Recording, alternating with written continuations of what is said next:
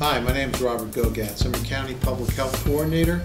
I understand this year your challenge is to take a look at the budget of the animal shelter and make some decisions from, from uh, the budget as far as uh, what we can spend and what we can't.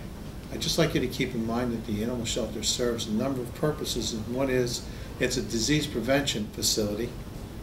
A lot of animals can transmit diseases to humans, so we have to be very careful with it. And we have to make sure that the animal shelter stays clean and sanitary so that we don't have diseases running rampant there.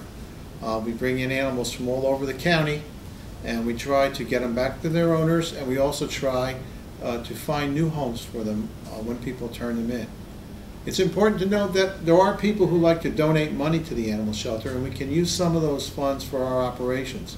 But please don't steal them too much, because we, we need those funds for a rainy day and also for operating during the year. They really help us to keep the animals safe and to try to make them a little bit more comfortable while they're staying with us.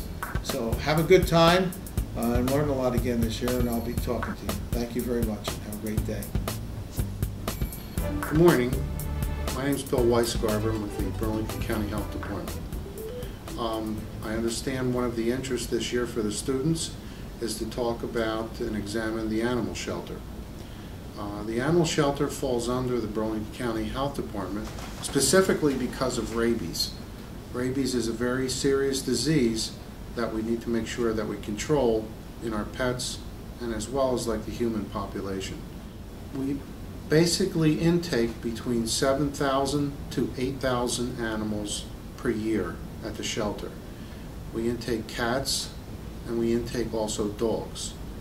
Also, our shelter services all the public in Burlington County.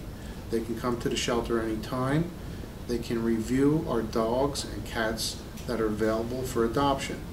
About, uh, since 19, uh, 2005, we started a spay-neuter program. That program involves a veterinarian who's contracted. He also contracts with three to four veterinarian technician assistants who work for us essentially, we have at least one there full-time. We have 19 staff that care and feed for the animals. Caring and feeding for the animals, um, you'll need to consider this in your deliberations. It's a 365 day a year job. And um, because of our intake of seven to 8,000 animals a year, I guess you can understand the amount and level of work that's involved in a public animal shelter. So I've covered a little bit about adoptions. We need people in the front office who handle the paperwork for adoptions, um, where you come in and you place an application. We need people to investigate the applications, make sure that the uh, the persons may not be dog abusers or cat abusers. So we test dogs for heartworms. Uh, we'll test for parvovirus. We'll test cats for feline leuke- and feline leukemia. And then there's also a, an HIV virus uh, that's found in cats, which is not transmissible to humans, but we'll also test cats for that as well. So there's um, funding that's necessary for the medications um, and for the immunizations that we provide. It's probably going to be for the students one of the more challenging things to look at in terms of where can you make cuts. Um, uh, it's probably going to be very difficult. We're, we're currently running at an operation that I would consider uh, a skeleton staff almost. Um, we certainly could use more help, but because of the budgetary concerns and the budget limitations, there's always limitations of budgets, we have to, we have to make the best with what we have currently available. And we try to assist um, the animal shelter by using other programs. So um, you have some very difficult issues to think about if uh, you were planning a budget.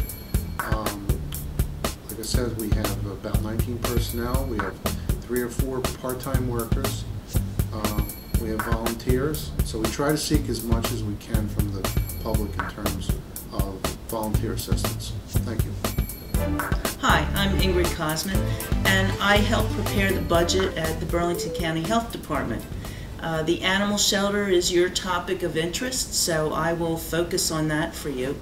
So one thing you want to look at in budgets is comparing what you did last year and if you can the year before because it gives you what's called a trend analysis uh, which is important in budgeting it gives you your first steps to do the new budget uh, and if you're looking to do the 2010 budget uh, that's what we would be looking at this year when we start our budget process uh, at the animal shelter we would look at revenues what we would anticipate revenues to be uh, people come into the shelter and adopt animals. We get revenue for that.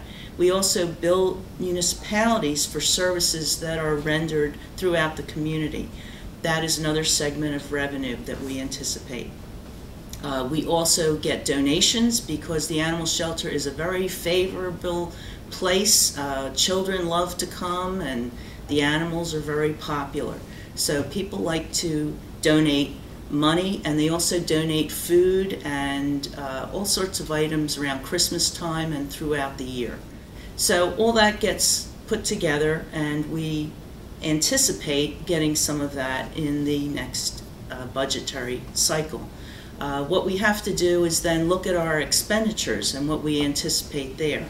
And you heard about the personnel. There are 19 people who work in the shelter, and those people have salary cost, and they also have what's called a fringe benefit cost. Within the fringe benefit cost is their health benefits, uh, the different side of taxes that we have to pay from the county perspective that gets reported to the uh, treasury of the government, um, payroll taxes, for example. So that is the largest expense of the shelter is the personnel cost. And those 19 people need to be there to clean, uh, to see people, customers. Uh, they're open, uh, it's a 24 7 operation, so the personnel cost is very important and very key at the animal shelter. Uh, the next cost, uh, we have a veterinarian on site, and the contracts for the veterinarian are probably the second highest cost uh, you also have to feed the animals, you have to clean the animals, so there's food, uh, there's cleaning, and that comes under a coupon. Uh, the coupon in the budgetary process is a way of uh, reporting up through the county system in the budget, and the animal shelter coupon is unique to the health department. No other department will have that particular coupon. Underneath that coupon are your line item budget items. Uh, for example, cleaning supplies would be a line item. Uh, veterinarian contract costs would be a line item. And these items also pyramid throughout uh, into the county budget. So everything reports up, starts at this local level and then reports up to the overall county budget. Uh, so we look at those costs comparably. We'll look at what were the cleaning supplies last year. Uh, how are we running this year? We'll only have so many months of operation this year. Um, say we have six months of operation that we know what we are in the current year. We have to estimate through the next six months and then make our forecast for the following year. So it, it's a very important process that you're being given you will uh, feel the challenge that we feel here at the health department every year as we budget. The dollar is becoming um, very uh, valuable uh, within budgets, and everyone's competing for that funding dollar throughout their programs. So we always have to make a cause of why we need every dollar that goes into our budget. So good luck on your mission and uh, enjoy the process. You'll learn a lot.